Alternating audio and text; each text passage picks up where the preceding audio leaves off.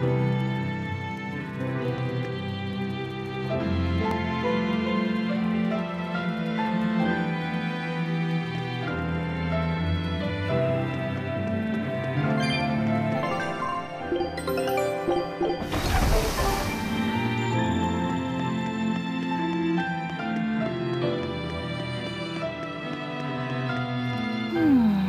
What else do they have in common? What are you up to? I'm compiling everything we know about Earth Pulse points, starting with what the ones in Warg Forest and Palamedes have in common. I'll compare those points with the ones that didn't have any hints. Then, I'll factor in everything I currently know about the Abbey's deployments. Once that's done, I'll match all that information against what we know about the locations Laphicet was able to sense. When that's completed, we should be able to tell which locations are more likely to house a Therion. You're really going all out, aren't you? Must you sound so incredulous? If you're going to do something, then give it your all. There's no other way to live. R Right. I'm counting on you then. I'm not doing this for you. This is for me and for Laphicet. Do you even understand why that boy's trying so hard? Yeah, I do.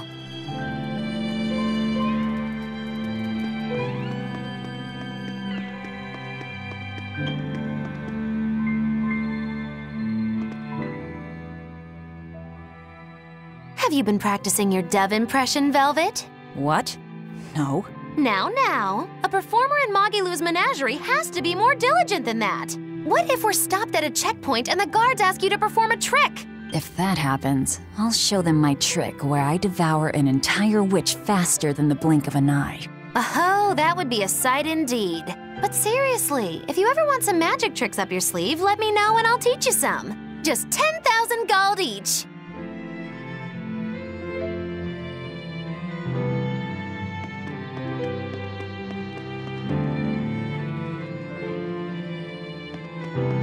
Hey, Velvet.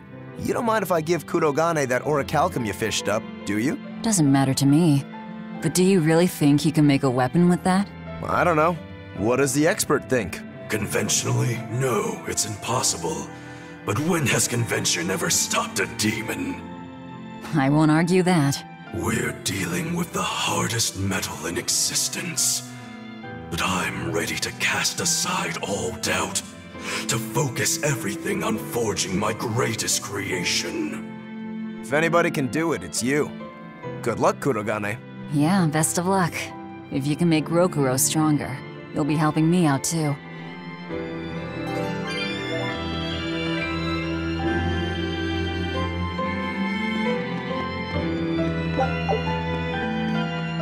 Laphicet! I spy! I spy! Uh, I can't, Kamoana. I- I've got stuff to. I spy with my little eye!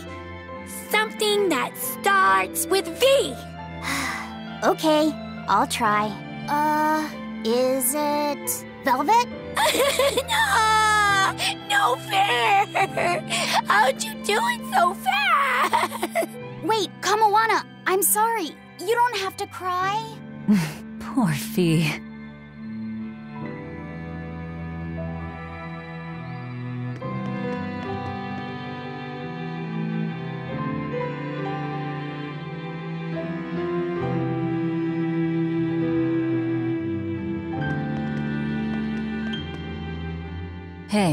What do you say we track down another Therion? Sure. From what I can tell, the next closest Earth pulse point is near the center of Midgand. Midgand, huh? The capital's not far from there. I wonder how things are now that Griffin's gone, though. Only one way to find out. Maybe so, but Eizen's not here, you know. You're right. I haven't seen him in a while. We should probably ask Benwick where he wandered off to. Yeah, Uh, hold on. There's a letter here. On pretty cutesy stationery, too. Let's just have a quick look-see. As the cold turns bitter and the snow piles up on the mountains, I cannot help but think of you and hope you are in good cheer. As for myself, I am the same as ever, although I recently acquired a rare item that I shall be sending your. it's rude to read other people's letters, you know. Yeah, but how else are we supposed to find out whose it is? Does it say who the sender is? Uh, Uzfamiwu Wexov. Who the hell is that? Probably someone on this island, if I had to guess. Hey! Anybody lose a letter? Do any of these folks look like the type to write a fancy letter? Point taken. It could be one of the pirates. Why don't we go to the docks and ask around? Fine, just don't forget our mission.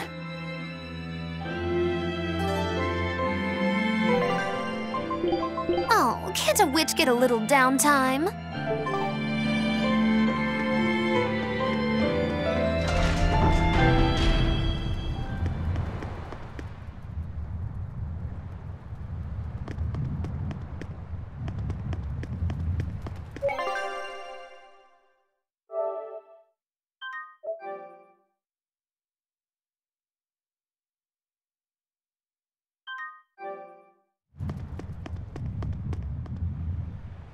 No reply this time either?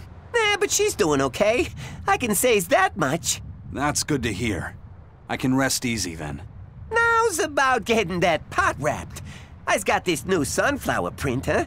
How's that sound? Hmm. Yeah, that one's cute enough. Let's go with that. Did. Did he just say cute? Help you with something? Someone dropped this letter. Do you have any idea who it might. You didn't read it, did you?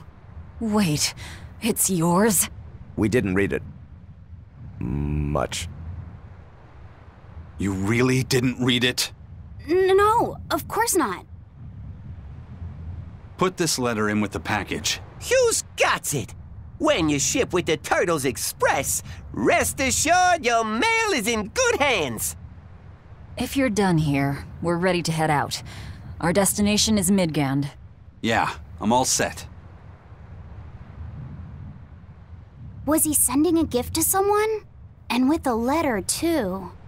Gotta be a lady friend, that's for sure. You think? Either way, that letter was really polite. And did you see that penmanship? Yeah, I didn't know old Reeps had it in him. I can hear you two, you know. Ah,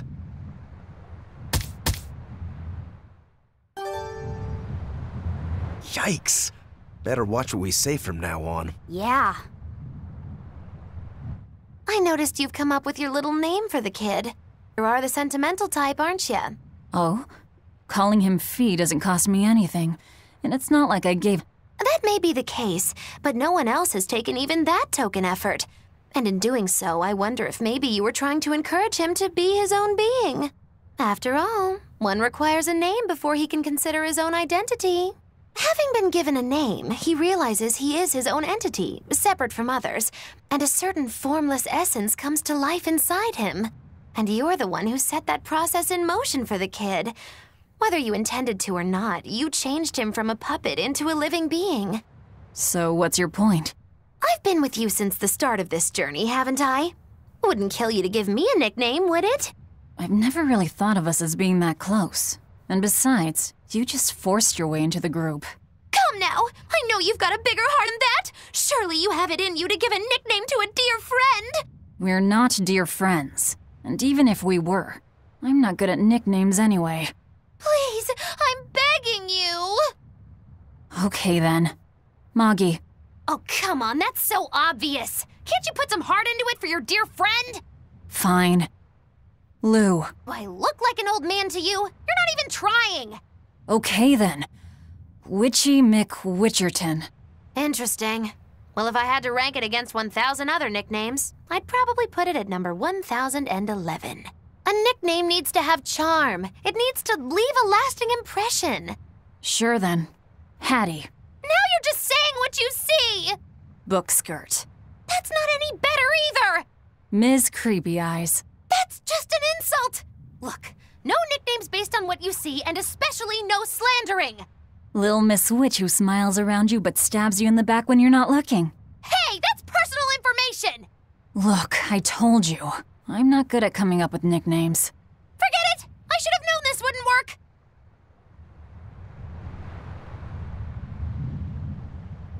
Eizen, what happened to those octopuses? Dyle and Kurogane took them to the kitchen. They said they were going to make dinner for Kamoana. They're going to feed demons to her? A Therion needs malevolence to survive. That's why they carried them off alive. What do they plan on making? Octopus ink pasta with takoyaki and fried octopus on the side, and Hellavisian octopus carpaccio. Do they have a takoyaki pan here at the prison? Kurogane hammered one out with some iron, along with a large pot for the pasta. Still looking like that? Takoyaki would hit the spot right about now, though. Octopus ink pasta, huh? Like squids, octopuses release ink as a defensive mechanism, but theirs is made of different stuff and is used in other ways. Squid ink is stickier and acts like a decoy, but octopus ink spreads out like a cloud of smoke. But squid ink has 30 times the savory flavor, so octopus ink isn't used in pasta all that often. Laffy told me the same thing. He said that's why octopus ink pasta isn't very good. Laffy said that? Yeah, so I ended up not making it for him. But I wonder. I guess it doesn't matter, since I can't taste it now. I'll taste it for you then. So make me some octopus ink pasta sometime, all right? All right. And I'll be sure to make some that doesn't come from demons. Hey, who did Eizen send that letter and cooking pot to anyway? I don't want to think about it. That walloping still stings. You've got to be curious, though, right? Maybe. It was serious stuff. Whoever it is must be important to him. A lover, maybe. I love her. A child wouldn't be happy with that cooking pot, and a man wouldn't want it wrapped up so pretty. A young woman with Eizen's tastes, then. He'd be bound to fall for a miraculous match like that, right? I don't know. I bet she's that girl with the yellow umbrella. You really have a thing for her, don't you? I do not. That's not what I mean. Then pray tell, what do you mean? Huh? Eavesdropping, Eleanor? How unseemingly rude of you. Besides, Laffy said is free to like whomever he chooses. You're one to talk about eavesdropping, Moggy Lou. Anyway, it's just that the sunflower design on the wrapping reminded me of her. Now that you mention it, but does it really matter? He has someone to write to in any case. True. I can't help but feel a bit en- What a nice way of summing it up, Velvet. So you were eavesdropping too, then? Uh. Say, what do you think about Eizen? Oh, so that's the kind of guy you're into, hmm? Huh. Not what I'd expect, but. No! I just feel there's something different about him. The way he picks presents, the objects that catch his eye. Oh, is that all? Boring. No kidding. All men have some kind of particular interest, big or small. I suppose that's true, but he seems a bit, shall we say, overly obsessive? Now that you mention it, he does have a tendency to ramble on about various topics. And it's not just the items he collects. There's more to it? Every weekend, he eats curry for dinner, and every time we go into port, he docks at the third bollard. Come to think of it, I heard the galley crew complaining that he always needs his pasta cooked exactly the right way. And when he needs a new outfit, he always goes to the same tailor and returns with identical clothes and boots. It all has to be exactly the same size and in exactly the same color. Turtle says he's very nitpicky. Sounds like he's not so much picky as he is a pain in the ass. But I do see a different side of him now. I thought pirates were all rough and. but it seems they can be quite meticulous. Not much of a reassessment.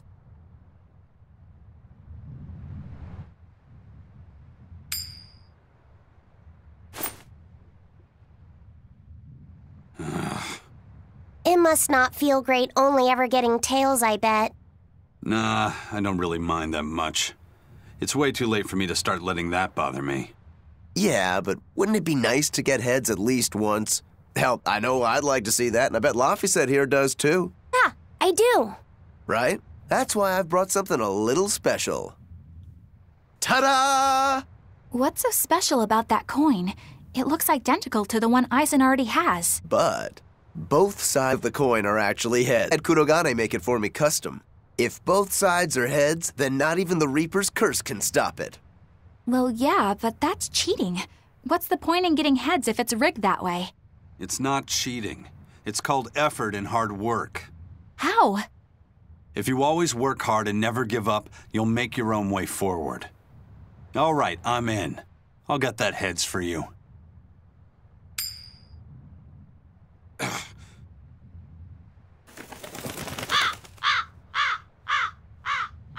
What? That crow just flew off with the coin! Those birds are attracted to shiny objects, I suppose. Damn it! I can't even win against a crow. Don't sweat it. I figured something like this might happen, so I had a backup ready. Go on, give it a shot. You'll show that curse who's boss this time. All right, here goes.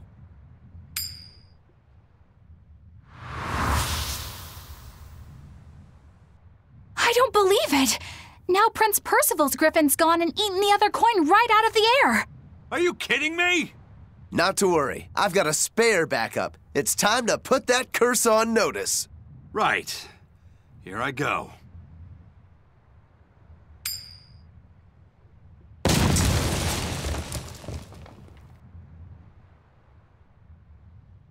You gotta be kidding me. Reaper's curse or not, does it really have to go this far over a damn coin? It's fine, really. I had a feeling it'd turn out like this. Well, I sure didn't. Yeah, me neither.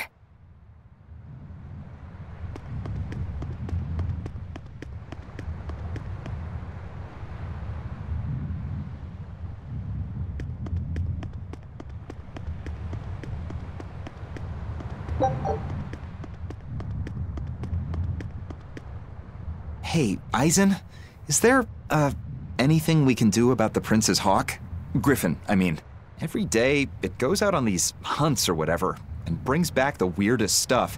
It's making a real mess out of the deck. Hawk's Hunt. What's the big deal? Well, yeah. At first, it was bringing back good stuff like seaweed and fish, things we could cook with. Sure, I was glad for a while. But then it started to escalate. Now we're talking 150 kilo ambercants and 350 kilo killer swordfish that it's catching. That's not a bad thing, is it? It just means more to eat. It is when they're being dropped from the sky onto the deck. Especially those killer swordfish and razor sharp bills. What if somebody gets run through by one? Can't you just warn the prince that his bird needs to be more careful? Yeah, we could, but he looks so happy watching his hawk. I'd hate to spoil it for him. Yeah, the prince looks so happy whenever Griffin is flying free. He kept grinning and asking Grocky all nice like if he wanted to fly some more. Grocky? That's what Kamoana kept calling Griffin. She says she came up with it by combining Griffin and Hawk. This is probably the first time in the prince's life that he's tasted any freedom. His whole life, he's only done what duty dictated of him. Letting Griffin fly was his first free act. To the prince, Grocky's an extension of who he is. So what are we going to do? Nothing, really. It's not like it really hurt anybody. But it's punctured some major holes on the deck. I'm sure even the prince knows when to rein it in. Let him have a little fun. He deserves it. I don't know about all that. I'd say the prince is letting his newfound freedom get the better of him. Hey, I was just up on deck and it looks like Griffin's caught an elephant tuna this time. An elephant tuna? That's the really big tuna that can swallow a killer whale whole, right? That almost sounds like a demon to me. Yep, huge fish, gills like elephant ears. I saw it myself. From the looks of it, I wouldn't be surprised if it was a demon. It's crazy valuable. On a good day, it can fetch 20 million gold on the market. But there's something ominous about seeing it hovering in the air above the ship. 20 million gold? I take back everything I said. The Prince and Griffin can do whatever they want. Did she say above the ship? Oh, hell. Benwick, we need to stop Prince Percival. Aye, aye, sir. Hey! Don't drop that on the deck! Are you listening to me?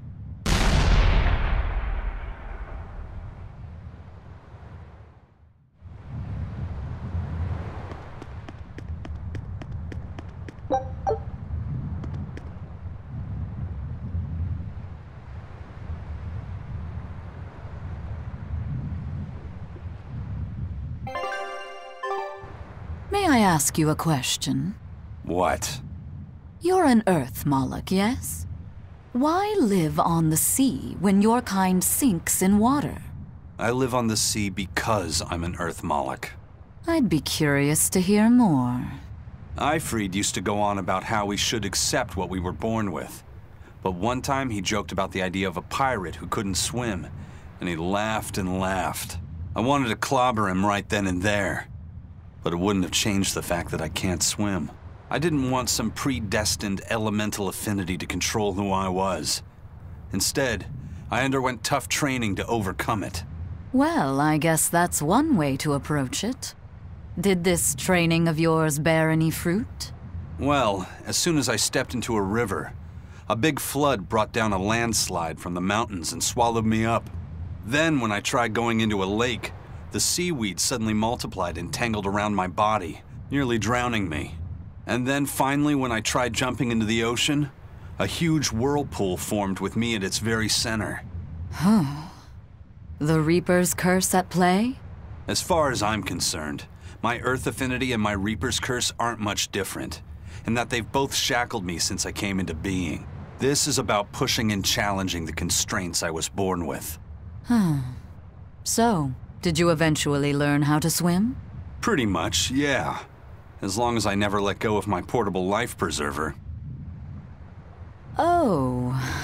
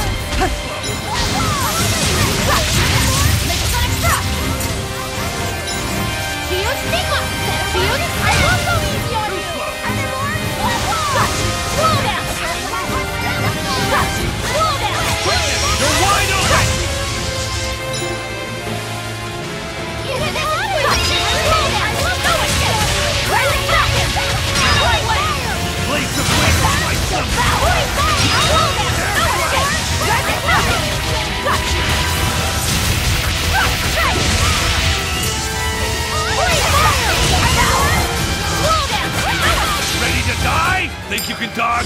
Just try! Perfect mayhem!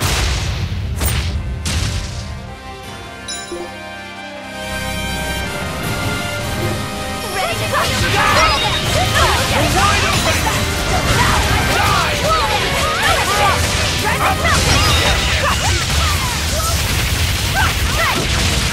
No mercy! You thought I'd stop there?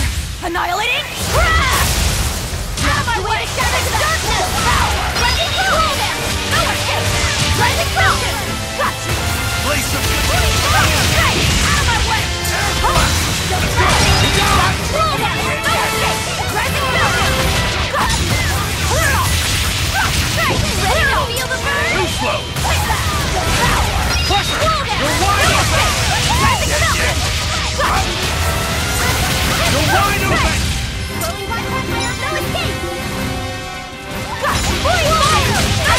Out of my way!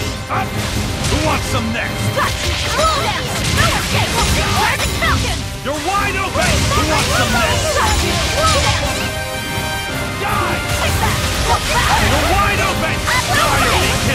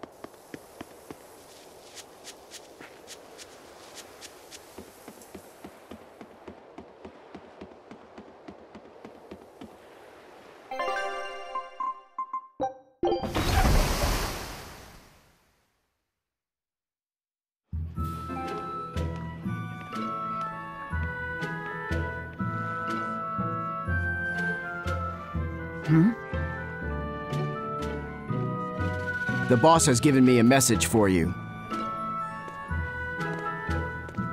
Says there's some sort of nasty demon running around in the Aldina Plains, to the east of Loegres.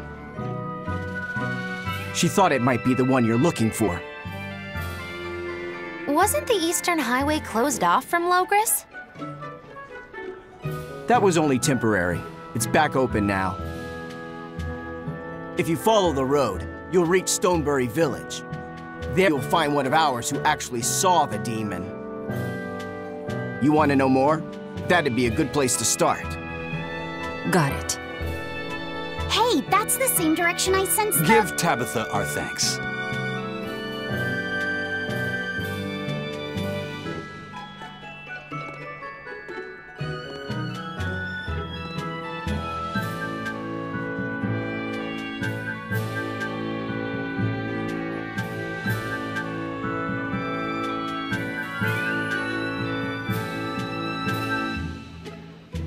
It's looking more and more like we're on the right track. We ought to go check out that Bloodwing story. Then let's start by going to Stonebury. Hey, Eizen, did I say something wrong back there? No. I just didn't think we needed to give the Bloodwings any information for free. Huh? He means the Earth Pulse points, kid. We're the only ones who know about them. But aren't we on the same side as the Bloodwings? We're not enemies with them. But I wouldn't go so far as to call them our friends either. That's just how it goes in the underworld. Things can change at the drop of a hat. A poison hat. But how are they supposed to trust us if we don't show them trust in kind? That messenger knew our faces, even though we'd never met. He was here waiting for us, even though we hadn't told anyone where we were going. You're right. We hardly know this thing about them. And yet they seem to know every move we make. They could easily sell us out if it struck their fancy. They'll work with us as long as we're a useful ally in their resistance against the Abbey. But the more tricks we can keep up our sleeve, the better. We've got each other's back, but only as long as we hold a knife up our sleeve. That's what counts as trust in the underworld. That sounds terrible. But at least you can trust that Tabitha's cooking will be tasty. Can't argue that.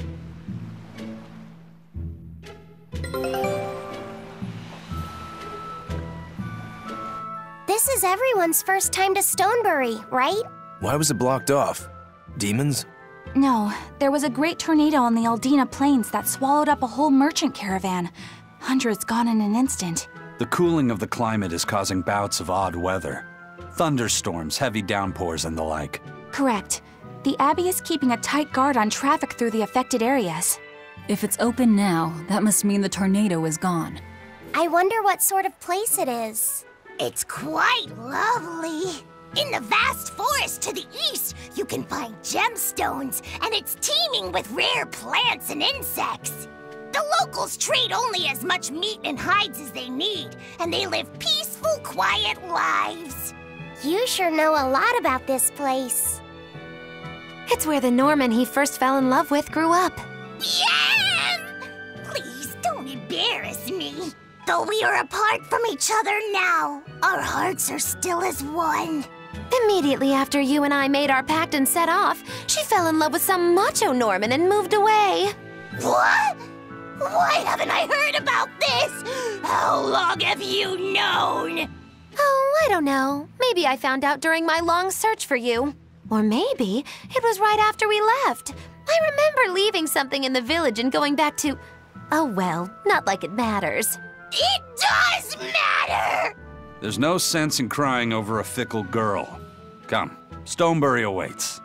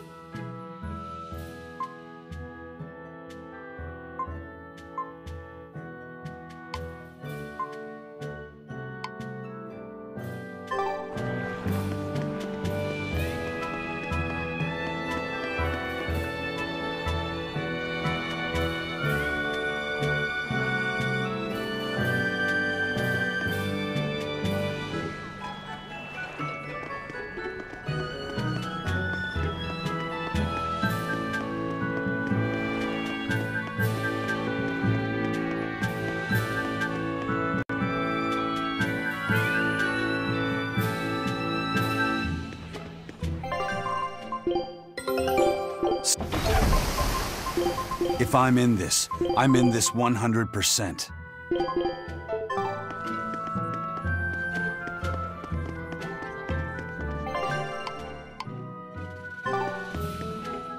The Eastern Plain is finally open for travel. I hear that the people of Stonebury are alive and well. My husband and I can breathe a sigh of relief. I wasn't worried about him at all. He talks tough, but he was really worried.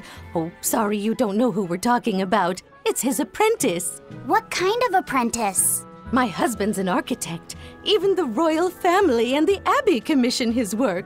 He's been at the docks here on a job. He just finished and we're about to return to Loegres. These people don't care about all that. Why did your apprentice go to Stonebury? He's young and talented, but a bit eccentric. He said he wanted to help create a new town, so he set off to the frontier. A craftsman has to focus on his work. Creating a new town. Ha! He should know his place. But my husband didn't disown him. That boy's fearlessness reminds me of my husband when he was young. So you understand how he feels then? I didn't say that. If he thinks he has the talent, he's free to do as he likes. But if he doesn't follow through with it to the end, I'll be done with him. Did you hear that? He thinks the boy can do it. If you ever find yourself in Stonebury, go visit that boy's workshop. right, I'll do that. Sorry about my husband. He can be a real grump. Don't worry about it. I'm pretty used to people like that. Hey, what's that supposed to mean?